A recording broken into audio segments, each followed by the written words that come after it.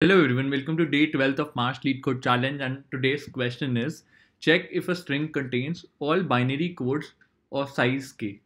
So in this question you are given a binary string, and integer k. You need to check whether for every binary code of length k is a substring of the given input string s. If all all the binary codes are part of this uh, string s, then we need to return true. Otherwise, we need to return false. So let's understand uh, it with an example. We are given a string s as this and k equals to 2. You need to generate all the binary codes of length k that would be 00, 01, 10, 11. And for each of this binary code, we need to check whether it is part of the input string or not. If it is part of the input string, we continue the process till the time we don't exhaust this list. Otherwise, if it is not, we abort the process and return false from there and then itself. So let's quickly understand the algorithm that I have created for this.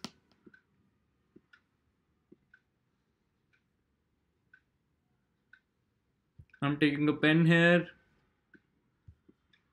and this is a naive algorithm uh, that states to generate all the binary codes of length k and check if the generated code is present in S, it's part of S or not. If S dot contains all the generated codes, then we return true from our solution. Otherwise, if we find at any step that this is not part of the generated code is not part of string S, we abort the process and return false from there and then itself. What are the issues with this approach? The primary issue with this approach is to is that we are generating all the binary codes. That means we have to generate 2 raised to power k binary codes if k is a given integer and that would be expensive and again we need we'll be checking for each of this uh, generated code whether it's part of the string or not that would again be expensive. We need to do the traversals every time we are checking the generated code. So s dot contains is uh, the time complexity for s dot contains method is order of n where n is the length of s. So the total time complexity would become n into 2 raised to power k which is quite high can we do something better than this yes how can we reduce the time complexity and the space complexity uh, for the solution so let's think in the opposite direction what about creating all the substrings of size k uh, from this input string s.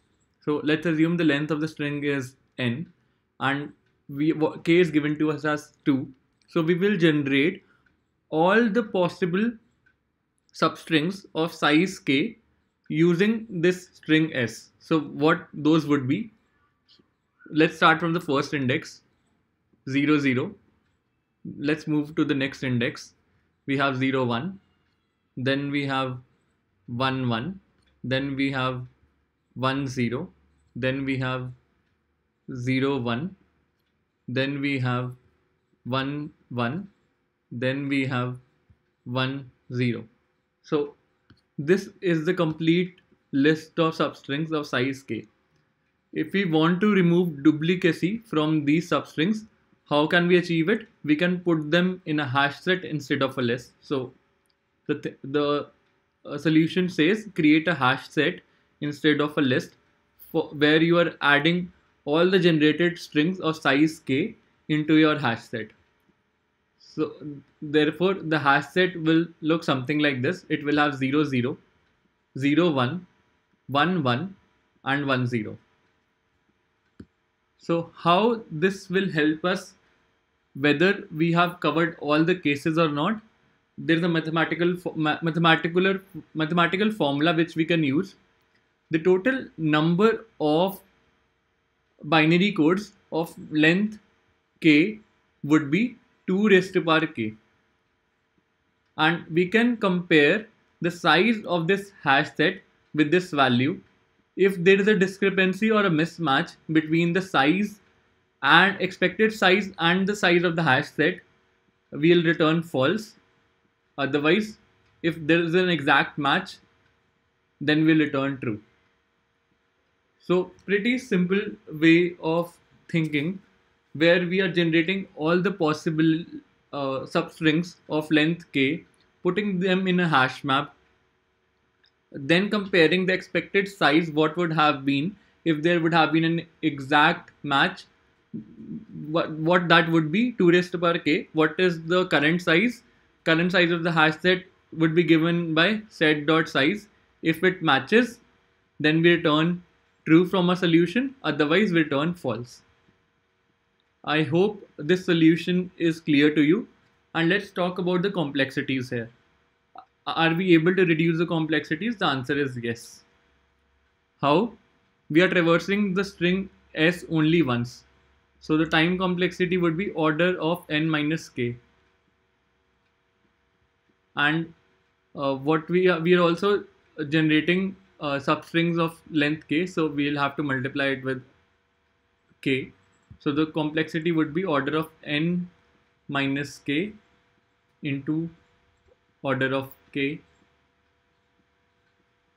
And what will the space complexity? The worst case space complexity what this solution would be order of 2 raised to power k because we are generating there could be a case where there is an exact match and we have to we'll have to store all of these in our hash set so space is slightly compromised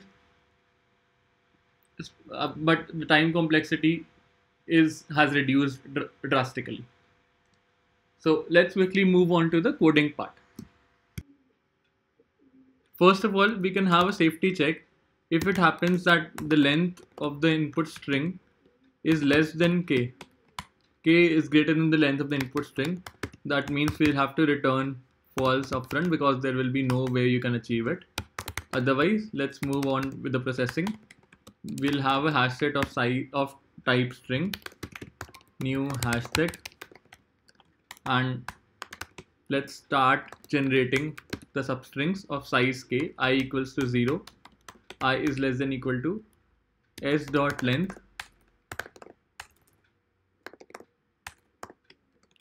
Minus k i plus plus. And let's add the generated string into our hash set s dot substring